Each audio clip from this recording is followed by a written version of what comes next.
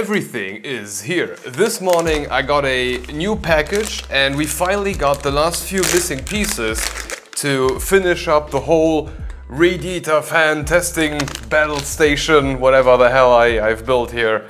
And let's have a quick look at what we got. Um, first up, instead of just... something to cut it. Uh, first up, instead of buying more of those uh, black tubes, I decided to buy transparent one, uh, or one long 3 meter transparent one, because I realized during the buying process that it makes so much more sense to see where liquid is going through so that I know when the whole thing is filled it's not a designer build. It doesn't need to be pretty. It can also be transparent and uh, slightly ugly. It just needs to function. Uh, so that should be solved. You can use the, the transparent ones for basically everything, but I think 3 meters is just not enough. But for everything between water block and reservoir and water block and pump, we can use the black ones. That, that doesn't really matter that much. Uh, so we have more than enough of the black ones. Then what we also got is that thermometer that goes somewhere in between the tubes so that we can measure the water temperature instead of spikes within the, the CPU itself, giving us kind of a, a, a, uh, CPU cooler water block biased result and this will only measure water and I'm, I don't know if we will rely on this. We will have to see.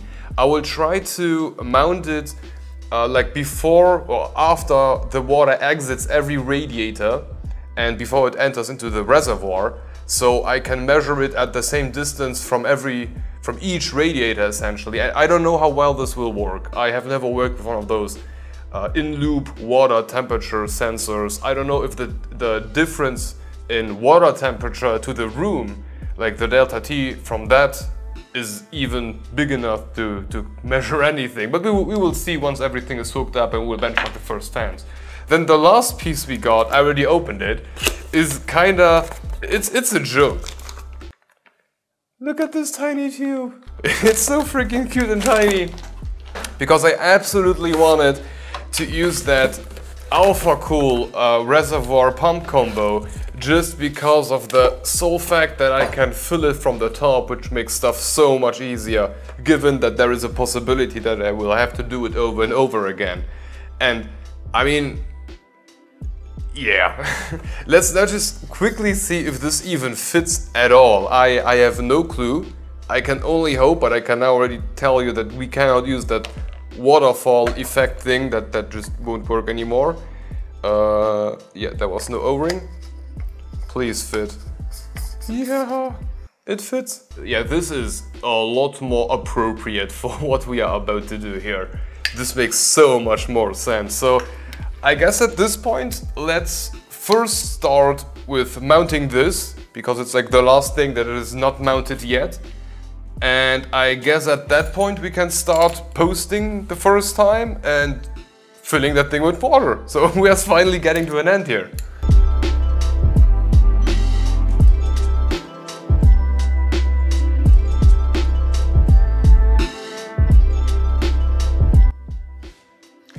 Okay, I believe I lost basically every screw that I had that is supposed to go in there from like five years ago.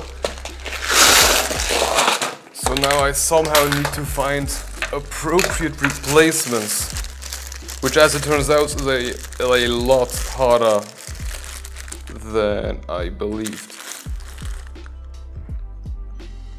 Yeah, nothing sticks.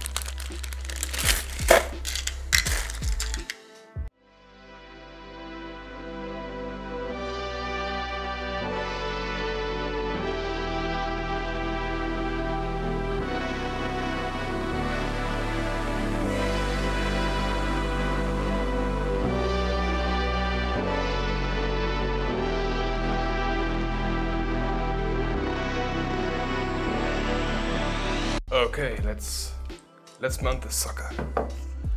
Oh, now finally the time that I have been waiting for way too long. This looks like a great position. And look at this. Uh, these are, or those are, how should I call them? The, the washers with a thread. that come with the Noise Blocker E Loop X. And those are these hooks that I got from like one of the ASA Blizzard AIOs. And they are fitting perfectly. And because I have no clue how to actually mount down this Alphacool combo here, it, it is just perfect. It just works flawlessly. And I'm so happy about that. And yes, I want to have that thing standing. No chance that I'm laying it flat. Way too much chance that at some point anything here will run dry and I would just not take that risk. No chance. Looks pretty tight to me. It's tighter than... Looks pretty strong. it's stronger than my whole desk.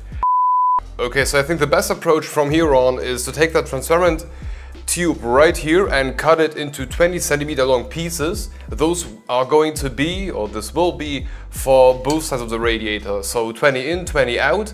And from there we can already mount those down with my box full of mini fittings, which are really cheap because they are for like the thinnest available tube out there. Uh, but it's going to be perfect for the use case. So let's do that and then we can start thinking about that uh, quick uh, quick fix, quick adds, however it's called, quick, quick, quick, quick connect connector, quick connect connector, great name, but I have never worked with that one and that's also going to be quite interesting for me as a first time. This is roughly 15 and this is roughly another 50 so this should be 20 now before we do something stupid let's just think. Uh, where are in and out? Here are in and out. Yeah 15 here 15 here. This should work. This is going to be harder. So the in and outs are going to be a lot longer just to be sure that we can like uh, connect them. I don't want to have any issues later on. But we have two of these black ones, so that should do just fine. Okay, two for everyone, and this is what we are left with. Not so bad if you ask me. Oh yeah, those, those are cheap fittings, like for two bucks each. Oh yeah. Aren't these supposed to be like turnable with a thumb? Well, apparently they are not. Maybe it's easier if I put them into the red first. Oh yeah, they are hurting my goddamn fingers. Oh yeah, this is definitely easier.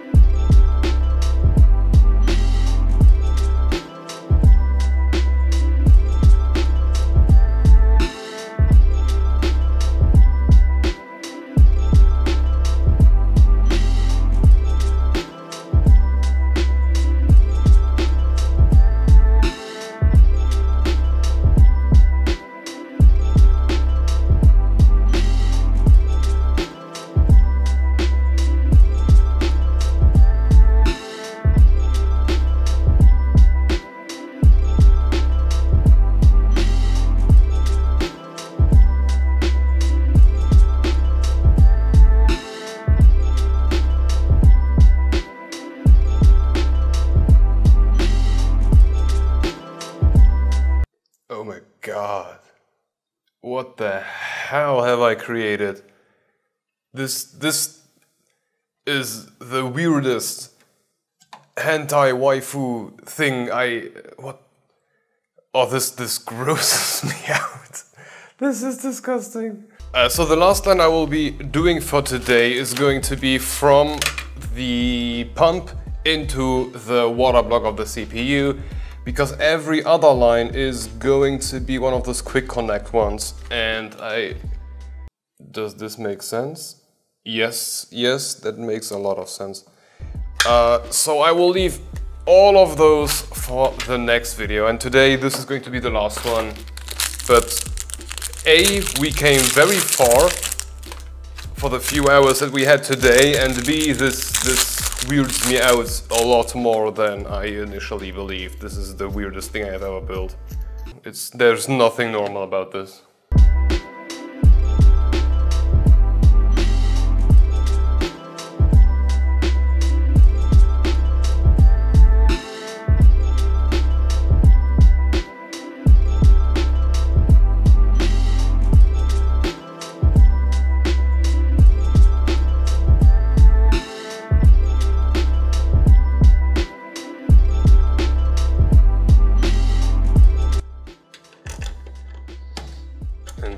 I know that I don't need to make them as tight as I'm doing, but this is supposed to be forever.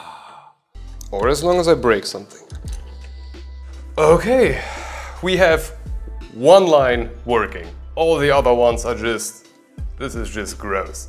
But for the next video, we will connect all of those quick connects and we will figure out where exactly we'll put the in for the pump or for the reservoir in this case and we will connect the missing lines that are still left. It's, it's not a lot of work to do and it's one video and then we are finally ready to finish this and benchmark the crap out of every fan that we've got. It's going to be fun, but I hope you enjoyed it and I hope to see you on the next one.